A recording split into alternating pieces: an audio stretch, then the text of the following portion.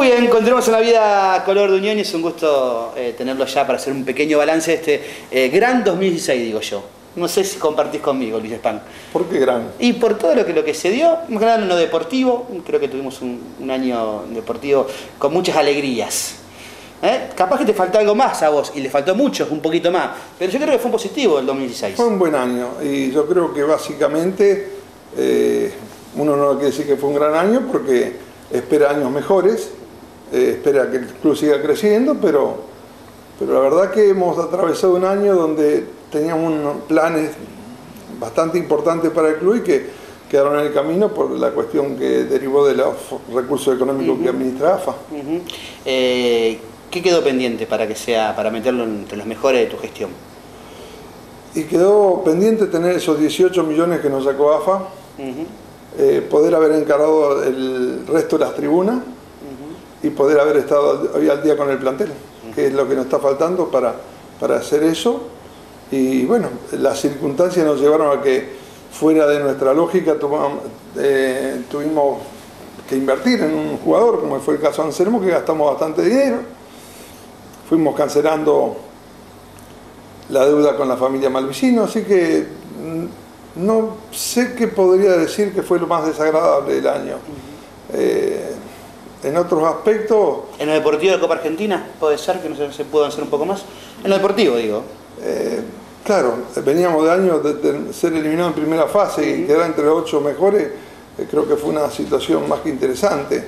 Y después fue un partido que se podía haber ganado, no. Sí. Eh, arrancó mal con, con, un gol muy tempranero, después tuvimos 70 minutos de dominio, que sí. no pudimos cristalizarlo en el arco, alguna jugada discutible, pero es fútbol, si no sí, fuese así imprevisible, eh, no sería tan, tan, uh -huh. tan atrapante. ¿no? Hablabas del plantel. ¿Qué será deuda al plantel? Eh, hoy eh, le debemos mitad del vencimiento del 25 de octubre y, y, algunos el vencimiento del 25 de noviembre, porque a los que cobran sueldos bajitos le hemos cancelado, porque ellos están en una diaria, en, una, en un circuito de, de los bajos sueldos. Y lo demás estamos esperando regularizarlo con esta eh, famosa última cuota, que va a ser la más grande del fútbol. Nos cobramos dos cuotas lindas, después cobramos dos cuotas paupérrimas y ahora vamos a cobrar una quinta que sería un poquito más importante que las dos primeras. Uh -huh. Y eso nos permitiría regularizar el mes y medio que estamos debiendo. Y si se da esto el 20 de diciembre, vamos a llegar a la situación de que entre el 20 y el 25 de diciembre estaríamos al día con el plantel. Deuda cero. Bueno, el 25 es la fecha de vencimiento del mes de noviembre. Y bueno, estamos sujetos a, a qué pasa con esto del fútbol Sí. ¿Cuánto depende eh, lo que eh, se cierre eh, con esto de AFA y los, los, los, derechos de televisión y demás para tener un, un 2017 cómodo económicamente? Yo creo que vamos muy mal. Yo no quiero ser agorero, pero hace dos meses yo dije que me preocupaba sobremanera el primero de enero. Eh, hablamos de 3.500 millones y hoy creo que hay un ofrecimiento de 2.200 y no cubre el mismo valor del último semestre. Por más que nos lo haya confiscado AFA, eh, se dispusieron de un valor en este semestre de un valor similar a 2.500 anuales y estamos hablando de 2.200. Uh -huh.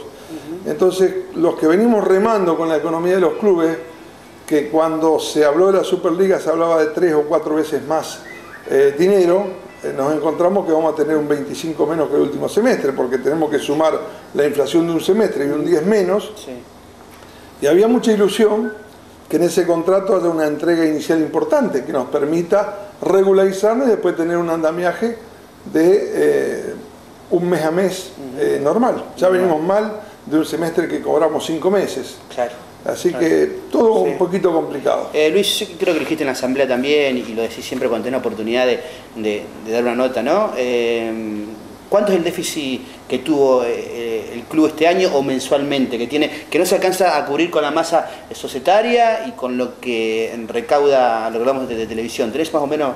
Creo que el presupuesto era bueno, ¿no? te digo bueno, que, sí. que, contemplaba expectativas de vender algún jugador, uh -huh. nos permitió comprar otro jugador, eh, pensábamos hacer las columnas que nos faltan de, de, de las columnas y las plate, eh, digamos, la parte vertical y la horizontal que nos faltaba. y pensábamos estar al día. pero a, lo que yo te digo, con la masa que, siempre que, que, hacemos hincapié que ser el socio y demás, ¿qué cubrís con lo, que entra del socio, lo genuino? Y cubrimos el funcionamiento del club básicamente. Bien.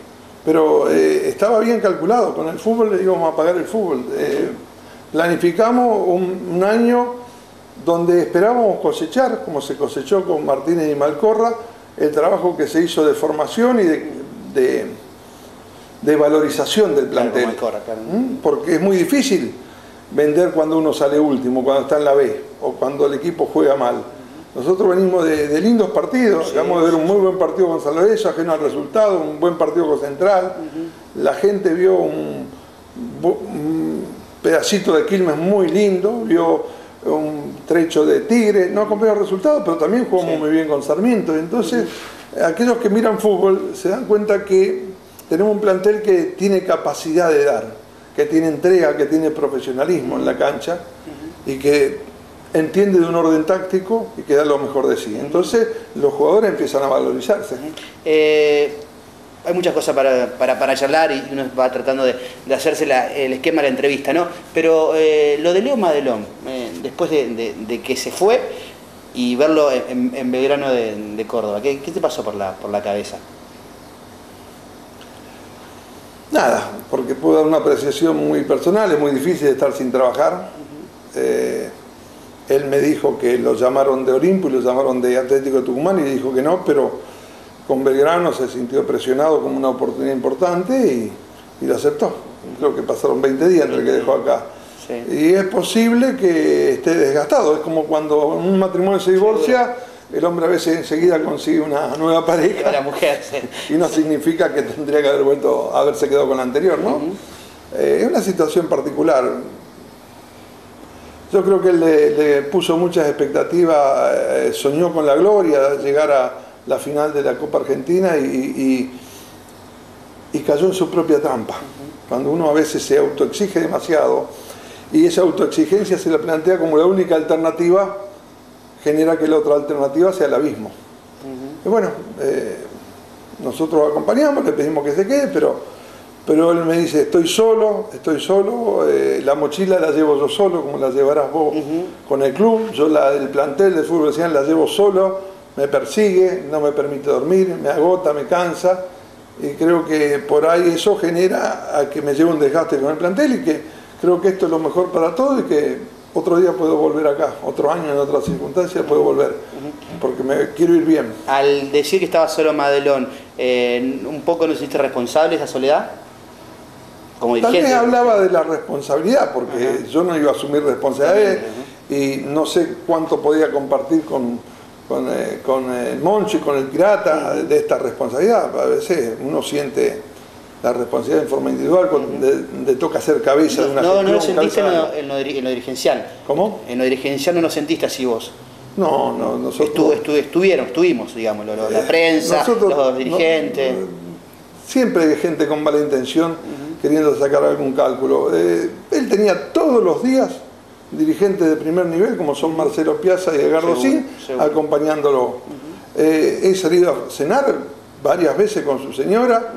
Eh, a, nivel de matrimonios, eh, hemos tenido muchas reuniones a nivel de, cuerpo técnico y dirigente, eh, charlas, y, no creo que, que se necesite más, porque por ahí se necesita esos respaldos abundantes cuando hay mucha duda, pero nosotros nunca dudamos de él ni ni entendíamos que teníamos que estar encima cenando todas las semanas para que él sienta que, tenía un respaldo y un apoyo. Y seguramente lo en la calle, y el socio te lo ha dicho, te lo ha cruzado, esto de eh, un plantel que se desarmó de lo que veníamos eh, el torneo anterior. ¿Lo sentiste así? Eh, ¿No lo sentiste así? ¿Es lo que Madelón intentó armar, lo que había? Los hinchas razonan como hinchas, con mucha pasión que alguien me traiga un proyecto donde Unión no sea formador de jugadores y vendedor de algunos jugadores para equilibrar un, presupuesto eh, para poder eh, tener continuidad y ir creciendo. Y si nosotros miramos los puntos que tenemos hoy con este plantel desarmado, no está mal. si le sumamos tres puntos, si le sumamos tres puntos con Racing, que es lo que decíamos y creemos que puede pasar, vamos a tener en este ciclo eh, post-desarme mejor promedio que en los 18 meses serían anteriores de, la primera división. Entonces estaríamos haciendo en este semestre nuestra mejor gestión, con tres puntos más. Y, fue un semestre ingrato, se nos escaparon puntos con Tigre, con Quilmes, con, con algunos equipos que con gimnasia. Podríamos, si hubiéramos zapallado, como le pasa a algunos equipos que sacan puntos sin merecerlo, tranquilamente teniendo tres puntos más y estaría en una situación expectante. Y lo que estamos viendo que, no sé, si es por quejarse, la verdad, debe ser, deben ser los solteros que no tienen a la patrona que se queje cuando lleguen en casa, pero estamos a un punto de clasificar para la Sudamericana. Y posiblemente termine este semestre con este triunfo que deseamos y creemos eh, en esa posición. Entonces, eh, ¿de qué nos estamos quejando? Te pregunto, Luis, como a veces uno uno recibe la, crítica del socio hincha en la calle, realmente como pasa a todos, ¿no? Eh, ¿Te dijeron eh, de Soldano y de, y de, Iriondo? ¿Alguien te parece decir que fue un gran acierto esperarlo, bancarlo, apostar? No, no, poco, poco y nadie prácticamente, porque... Porque ahora vemos lo de Soldano. Hay que recordar que vino gratis y que compramos un delantero por 50 mil dólares a pagar, porque era después que juegue, que firme una cantidad de planillas. y y hay más jugadores, eh, hay un jugador en las mismas condiciones que Diriondo que va a ser, por lo que hablé con Juan, con Juan Pipumpido, que va a estar en las mismas condiciones que él. Tenemos un jugador de, muy bajo costo que es un uruguayo que, también va a ser incorporado en forma continua al plantel y entonces estamos repitiendo esta historia de generar posibilidades y de, y de ver cómo hacer crecer chicos que tal vez por distintas circunstancias no logran triunfar. Nosotros cuando vemos que tuvimos la suerte de salir campeones en la liga, y uno se sorprende todo lo que ponen los equipos rivales de liga. Sí. Entonces, eh, no hay un gran misterio, hay una realidad que hay muchos de estos jugadores estuvieron cerca de jugar profesionalmente. Le faltó una circunstancia, eh, una oportunidad, le faltó algo, y dice, ¿cómo, ¿cómo te juegan así? Muy buen trato de pelota, buena circulación, o sea, hay trabajo de técnico, pero también hay material. Entonces, eh, yo creo que ser jugador de fútbol profesional es una circunstancia para muchos. Para los crap no. para los otros van remando y por ahí se le abre una puerta, se abre una ventana y logran llegar.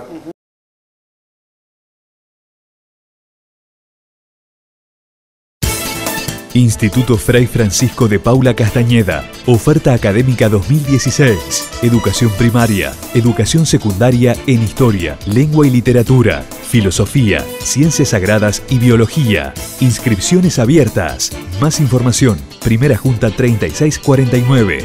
institutocastañeda.com.ar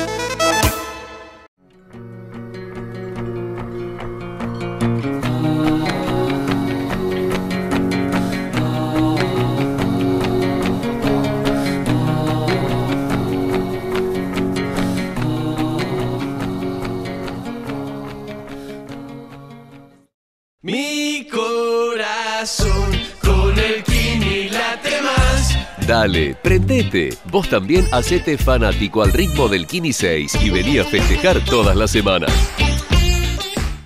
Farmacia Sedner, especializada en dermoestética y seleccionada por los laboratorios Vichy, San Jerónimo y Suipacha. Envíos a domicilio.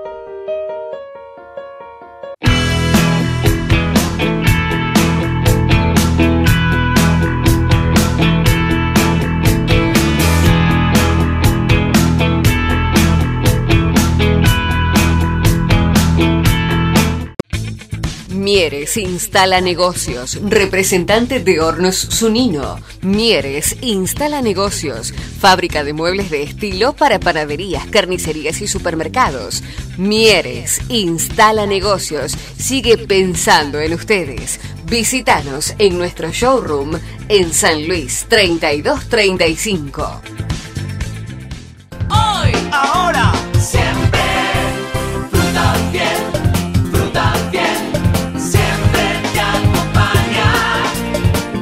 Fruta Fiel siempre te acompaña. Panadería, confitería y sandwichería La Internacional. Nuevo local en Avenida Blas Parera 8600. Abierto las 24 horas todos los días del año. La Internacional, Blas Parera 8600. ¿Estás buscando cielo rasos? Cielo rasos de PVC Tecnoperfil, sin costo de mantenimiento y con una excelente aislación termoacústica. Cielo rasos de PVC Tecnoperfil. Encontranos en Gobernador Vera 4057 o ingresá en www.tecnoperfil.com.ar. El fogón, asador criollo, asado a la estaca, empanadas salteñas, comidas tradicionales, estacionamiento privado. 4 de enero 4350 en Santo Tomé. Teléfonos para reservas 475-4228 y 155-1345-73. Cerrajería Lito. Su seguridad asegurada en manos de profesionales. Codificado y clonado de llaves con chip. Lito Cerrajería. Urquiza Esquina Irigoyen Freire. Urgencias al 156 131 085.